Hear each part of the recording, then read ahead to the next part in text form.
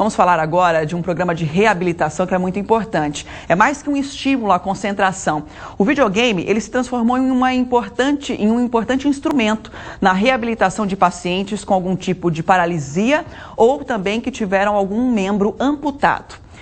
Essa tecnologia vem sendo utilizada pelo Instituto Luci Montoro no desenvolvimento da memória, do raciocínio e do equilíbrio que são prejudicados por causa das doenças. Vamos ver na reportagem.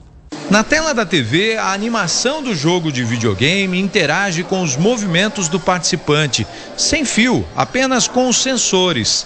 Tecnologia que encanta o menino. A diversão é garantida, onde o objetivo é tapar o maior número de vazamentos na caixa de vidro.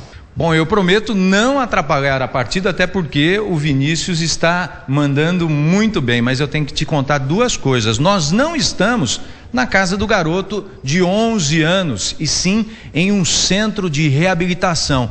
E o Vinícius é um dos pacientes. Há um ano ele teve um AVC e ficou com a parte esquerda do corpo paralisada. Nem parece. Ficou oito dias internado aqui no Hospital da Criança, ficou 20 dias quase sem andar, ele não tinha controle no corpo.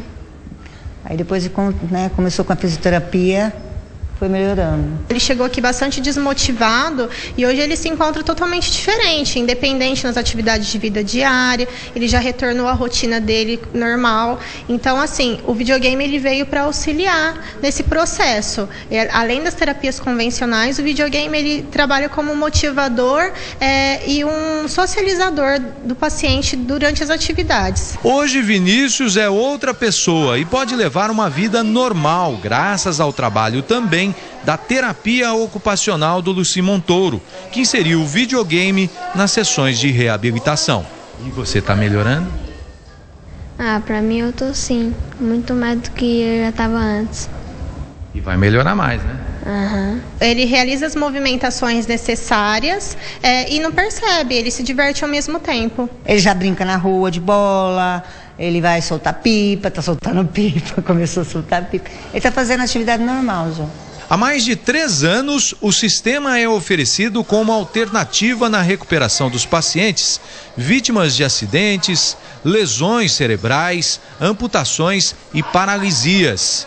Pessoas que vêm de toda a região, crianças e adultos também. Por exemplo, uma pessoa que teve uma lesão cerebral, que tem uma hemiparesia, esse membro hemiparético ele é utilizado com frequência no videogame, então aumenta essa amplitude de movimento, aumenta o uso desse membro, é, aumenta o, o, equilíbrio dinâmico e a coordenação motora global desse paciente, principalmente, tanto também a concentração e atenção, que muitas vezes é um fator que é prejudicado com a lesão que ele teve. Irineu Altamiro é um desses pacientes. O eletricista de 54 anos perdeu as mãos em um acidente de trabalho e percebeu que precisava se movimentar. Hoje faz questão de não faltar às sessões de terapia ocupacional. Começa a brincar aqui, tem hora que a hora passa, você, quando vê deu hora de ir embora, tá aqui brincando ainda. E o bom é que faz os exercícios também. Exatamente. A gente aproveita todos os pontos, para direita, para esquerda, para cima, pula. E aí vai ficando na forma de novo, em forma. Com a utilização do videogame, crianças e adultos têm mostrado uma evolução bem satisfatória.